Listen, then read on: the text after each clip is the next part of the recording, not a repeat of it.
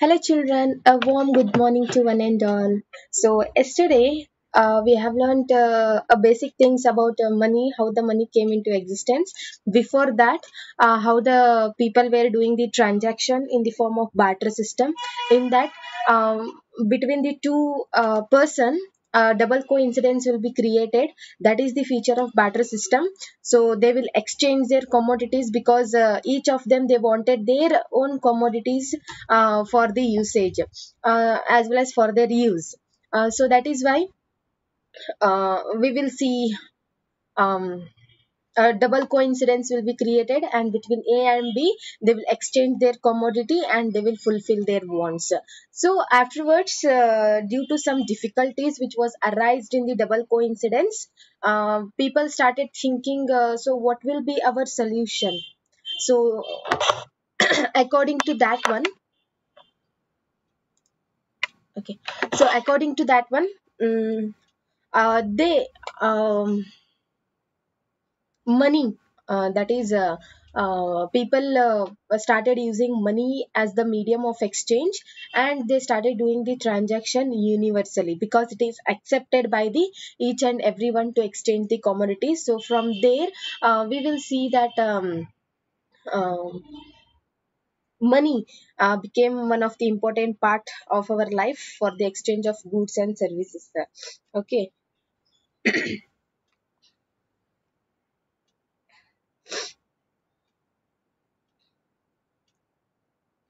so in today's class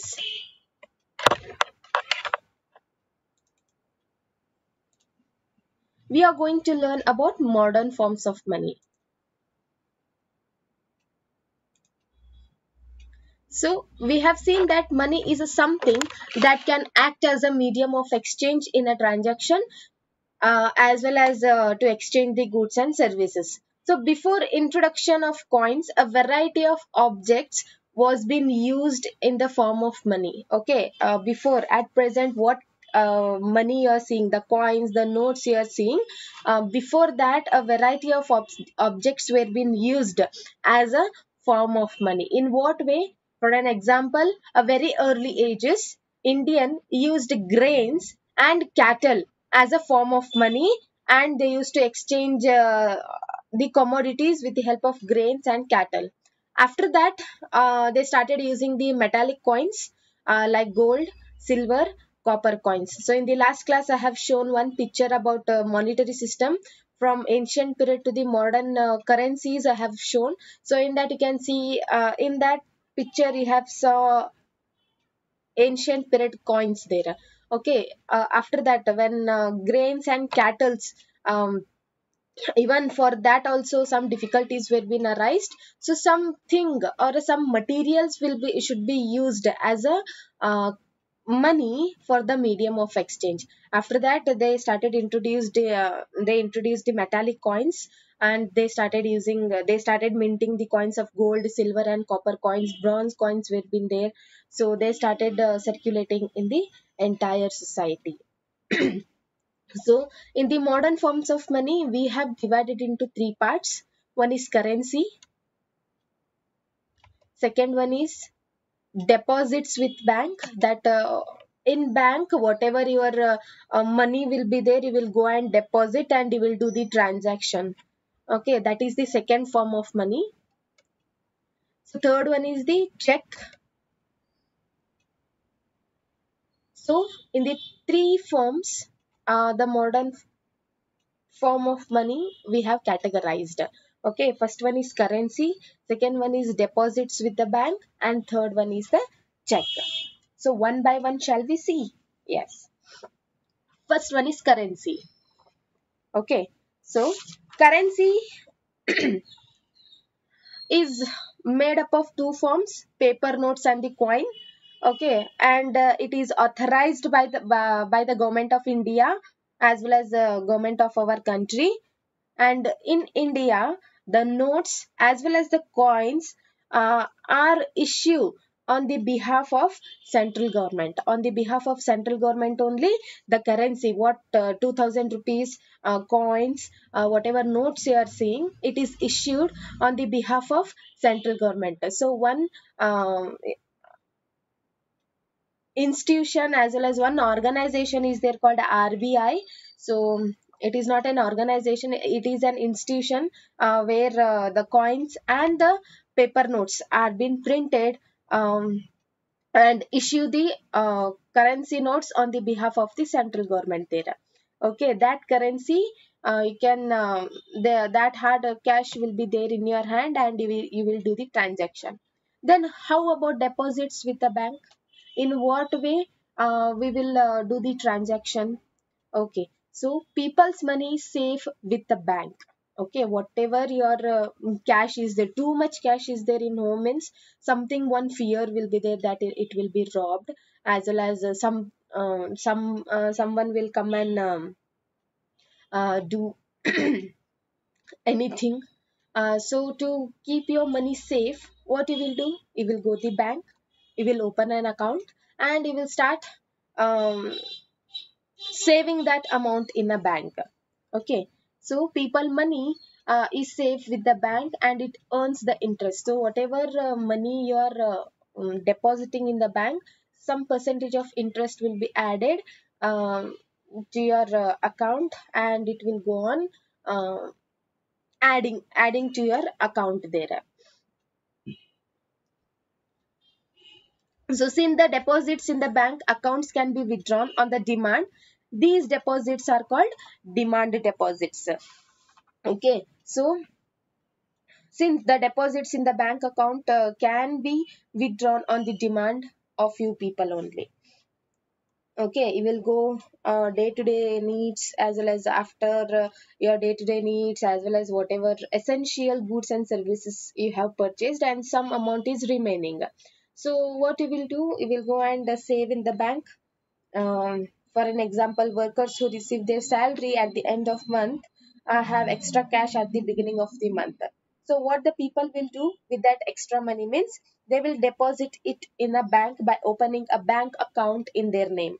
So bank accept the deposits and also pay an uh, amount as an interest on the deposit. So whatever deposit you are doing so some amount of interest will be added to your account as well as your um, deposits there. So in this way people's money will be safe in the bank and uh, you will earn a little bit extra amount also by keeping money in the bank. So people also have the provision to withdraw.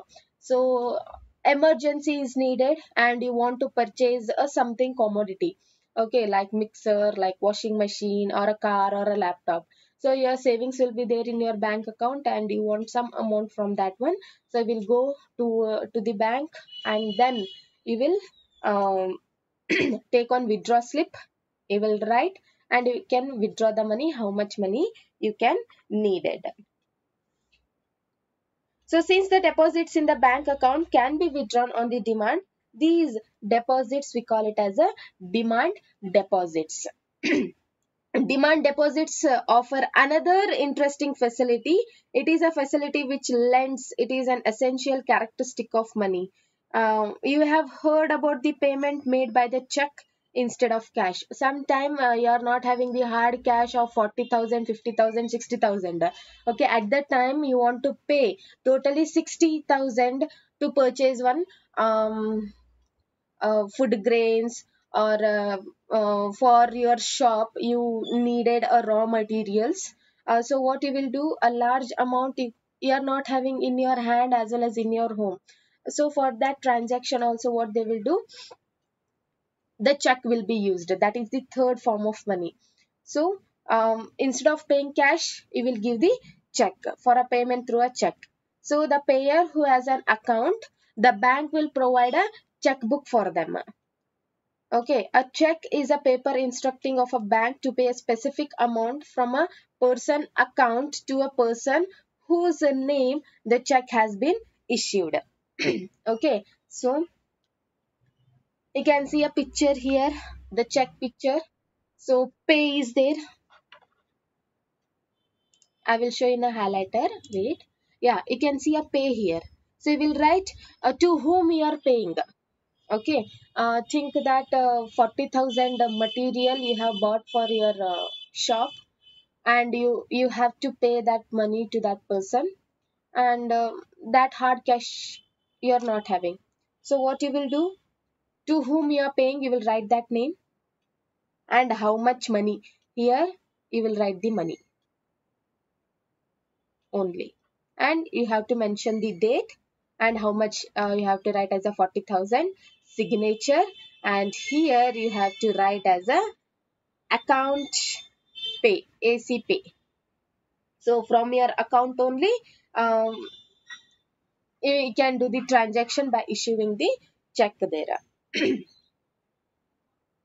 so thus we see that demand deposits share uh, the essential feature of money the facility of the check against the demand deposit make possible to the direct settle payment without the use of cash. Without the using of cash uh, you are paying a large amount of money by issuing a check.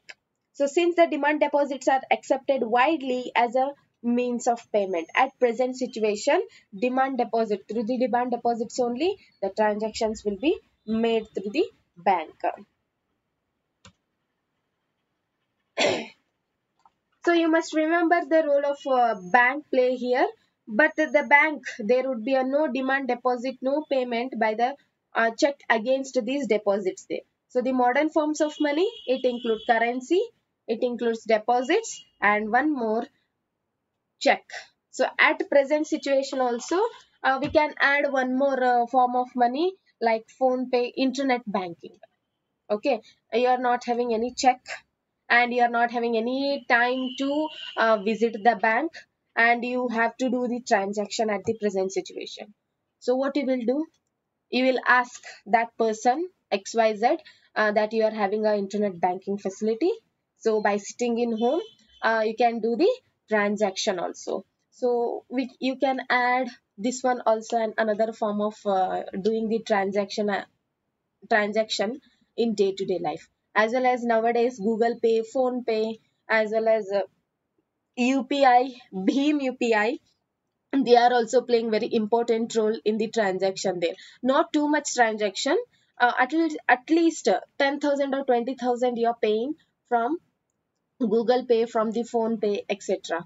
And they also um, giving for some facilities to use that apps there so you're not having any kind of check or you're having a internet banking facility you're not having a time to go and visit the bank means through the internet banking you can do the transaction. So in this form also we can do the transaction. So uh, the three forms of money okay is currency deposits with the bank and check. So these are the three forms of money coins or a uh, paper notes.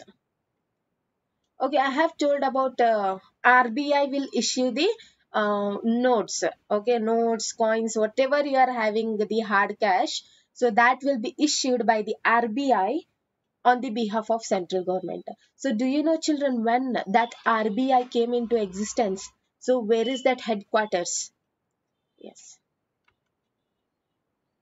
Yes. RBI means a Reserve Bank of India. So the headquarters it is in Mumbai.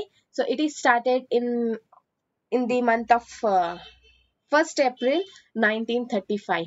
At present, Shaktikant Das is the governor of RBI. So Shaktikant Das he is a governor so according to his instruction and everything else every year uh, the note not every year uh, the requirement according to the requirement the notes and the coins uh, will be printed there on the behalf of uh, central government.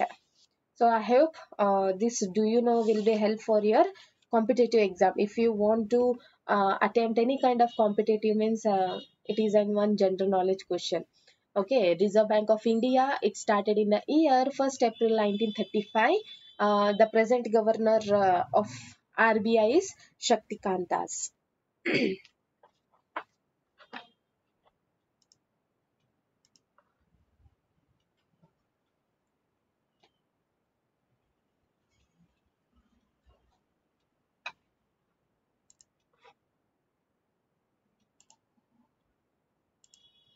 So next one, moving further after knowing uh, the basic knowledge of three forms of money, now we will try to understand what kind of loan activities will be done in the bank. Yes. So there is an interesting mechanism at the work here. So bank, uh, whatever banks are established in our country, they will uh, and whatever uh, accounts are being opened in their particular bank, uh, like uh, XYZ bank. Uh, so what the bank will do, uh, whatever your money will be there, only some amount of money, the cash they will keep for themselves. And then other money they will do the extend by giving the loans to the people. And instead of that they used to repay the loan uh, every month the uh, loan will be repaid um, for an example in india the bank hold 15% of the deposits as a cash so if you are keeping a large amount means 15% the bank will keep with themselves and this is kept as a provision to pay uh, the depositors who might come to the withdraw of money from the bank on a given day. So sometime uh, think that you have got the salary, um, you are having a 40,000 salary. In that 40,000, uh, you are um, um, whatever date uh, day to day like ration, um, giving uh, payment to the uh, milkman, newspaper seller, uh, etc. And you have bought some of you have bought some of the clothes for your daily usage. So remaining uh, twenty to twenty five thousand you are having in your hand. So what you will do? However, the extra money will be there. So why can't I open a savings account so that I can uh, deposit that money in that uh, bank? Um, however, the interest will be given by the bank and uh, the, the money will be added to your account there. So suddenly you are having an emergency and uh, you want to withdraw the money like 20,000 you want to um, withdraw a little bit 5,000 extra money will be there and you have uh, you want to keep that safely. So at that time what you will do? Uh, the bank whatever uh, you have been deposited one facility will be given so that every day the person who want to take a cash from the bank as well as they want to withdraw the money from the bank means uh, they will go and visit the bank uh, there they have to write on withdraw slip how much money they have needed and then the money will be given. So that is why uh, in india the bank will hold 15% of their deposits as a cash. The cash 15% of deposits the cash will be kept in the bank and day to day how many persons will come for the withdrawal? For them they will issue the amount. So bank use the major proportion of the deposit to extend the loan also. Uh, remaining portion will be there na? Large portion uh, because many of the people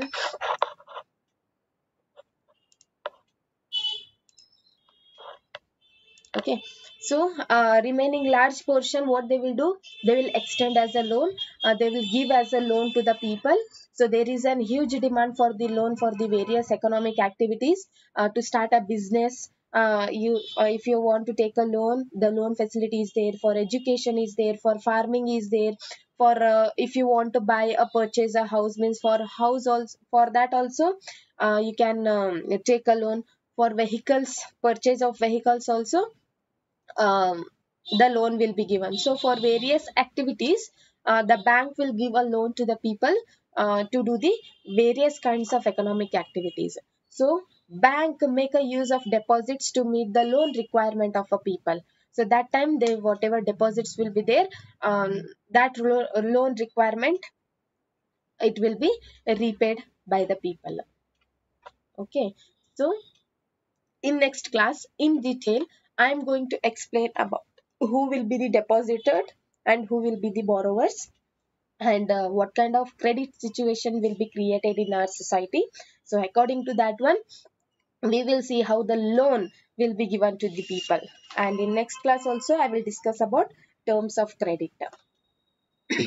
so i hope today's class you have understood if you are not if you are having any kind of doubt just pin your question in the group so that i will try my level best to sort out your problem so signing out. Have a great day. Bye everyone children.